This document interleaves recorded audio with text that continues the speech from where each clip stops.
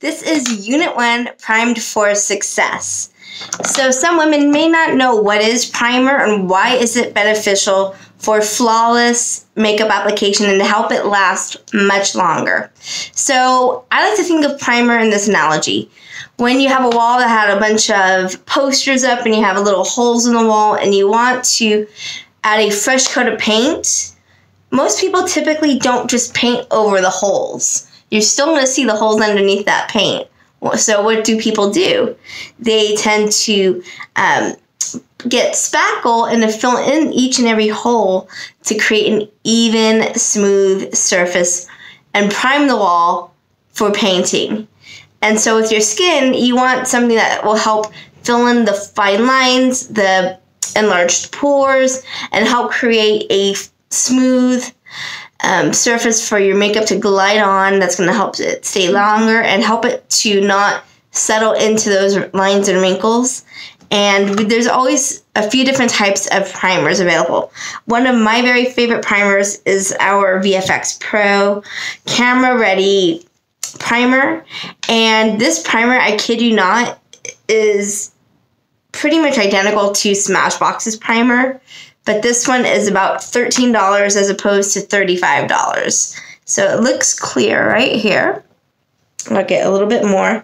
And you'll apply this all over your skin. And you can apply it with your fingertips because it does help with the warmth of your fingers to evenly apply all over the face. And there's different primers that help color correct or help make your skin look more luminous and hydrated and glowing.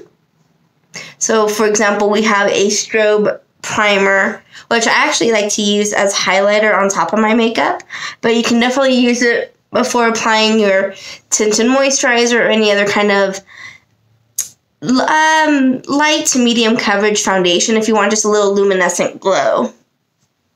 But if you want something that's going to help create an airbrushed flawless effect that's going to help even out your skin surface so your makeup will glide on. I highly recommend this. And then when I talked about the color correcting, a little known fact, you can use an amazing CC cream as a primer before you put on your fuller coverage foundation. What is a CC cream? CC stands for color correcting. And if there's any redness in your skin, discoloration, uneven skin tone, an amazing CC cream will help, um, again, create that smooth surface to apply more makeup on top. But most importantly, it's going to help add in beneficial ingredients and nutrients into the skin, kind of like a tinted moisturizer. But it's going to help even out that redness, that discoloration, and prepare your skin for success with your foundations and other products.